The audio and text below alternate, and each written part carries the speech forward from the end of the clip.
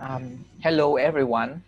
My name is An Tran from Grab and Grab is a Southeast Asia ride-hailing company. The paper I will be presenting today is titled PP LinkNet Improving Semantic Segmentation of High Resolution Satellite Imagery with Multi-Stage Training. This is a joint work with Ali Jagan and Hannes. The motivation for our work is to develop a machine learning method with pseudo ground truth data for high resolution satellite imagery. The image size we are consider is 1024 by 1024 pixels. We develop a two-stage transfer learning have improved performance and able to do training on small number of sample. First, we develop a method using OpenCV to generate a noisy pseudo router. We utilize um, geospatial uh, data from OSM and using OpenCV algorithm to render pseudo ground truth data from uh, the roads uh, geometry shapefile. We can also use uh, GIS software such as TimeMirror to rasterize pseudo ground truth image. Our developed method produce similar appearance of pro network when compared with rasterization image from a GIS software such as in the second row compared to the first row. Um, in this figure, we show some example of our rasterized pseudo ground truth um, image. Uh, although the structure of pro network in the example is correct with the satellite image, but its pixel to pixel matching is limited. So the network we consider in uh, our experiment in this paper is uh, called PP LinkNet. Our architecture is originate from uh, D-LinkNet, which are the change in the context layer. With the context layer now we use a pyramid uh, pooling layer without the learning parameter. Our network uh, inspired from UNet, including three parts: the encoder with the A, the context part with the B, and the decoder with the C, and the network it try to perform uh, semant binary uh, semantic segmentation. The main um, motivation and contribution in our paper is two-stage temporal learning. The first phase, uh, we train our PP LinkNet on noisy pseudo ground truth um, data that's generated from OSM, which the OSM is open source uh, map and with abundant of data. In the second phase, we propose a simple transfer learning procedure to fine-tune the train model one more time with high quality, well annotated data. Um, other improvement to our uh, model including using focal loss, um, using poly learning rate, uh, which help to reduce the number of iteration, um, and the context module uh, without any parameter to learn, have the model with a less uh, parameter and able to learn more stable. Um,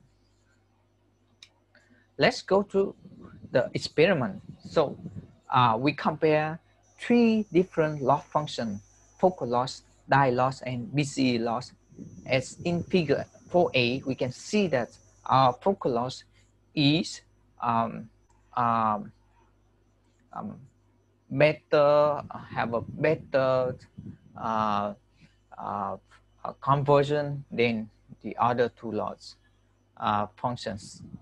Um, the figure 4b show the effect of our poly learning rates. Um, uh, the poly learning rates also uh, has shown uh, smooth decrease in training loss than the traditional reduce on plateau uh, learning rate. Um, these figures show the effect of focal loss. Um, the, our focal loss help uh, to uh, resolve the class imbalance in between the foreground pixel and the background pixel uh, in satellite imagery, which um, so because of this imbalance, the background pixel much more number than the foreground pixels. So with focal loss, our model can learn to pick up a smaller rows uh, um, uh, as in the figure B compared to BCE and dice loss. Um, the context module have an impact that to uh, the pyramid pooling module would provide cues to connect the difficult to predict uh, connection between different roles. They compared to such as compared to the uh, figure in the middle and on the right. Um, uh, um, quantitatively, we uh, do different um, experiment and on to show uh, different version of our model. And uh, the table one show that uh, our uh, PP LinkNet, which has the best performance with our two-stage training strategy compared to all different um, other uh, variations such as uh, to, uh, Nest, PSP, D-LinkNet. Um, table two compare our model with uh, other state of the art. Um, on the brief, we can say that our PP LinkNets has better APLS scores than any other works, including the very recent ECCV 2020 uh, Sat2Graph.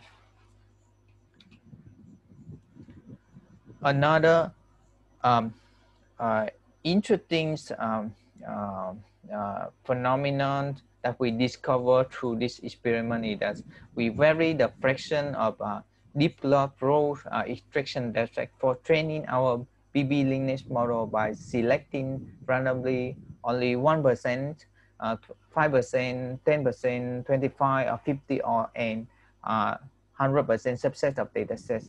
And our PP LinkNet two-stage training performance better than uh, PP LinkNet um, with one stage by uh, last margin uh, in uh, extremely low, num low number of uh, training example for the one and five. And this gap of performance is gradually uh, reduced such that in the figure A and B uh, reduced when we have a more training sample. So in this experiment, we saw that with our two-stage training procedure have transfer learning to be more effective in learning visuals uh, representation from small um, number of uh, satellite, uh, satellite imagery with the annotated uh, label. Um, we also did some uh, experiment in um, uh, building footprint. Um, so in this table three, we show that um, our two-stage training strategy produced excellent results uh, on the SpaceNet uh, building footprint dataset. Um, and we show some uh, qualitative example here in this figure and our um, model can predict the segmentation of building footprint um, reliably in the SpaceNet Challenge 2 dataset.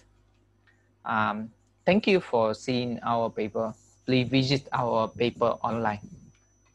Thank you.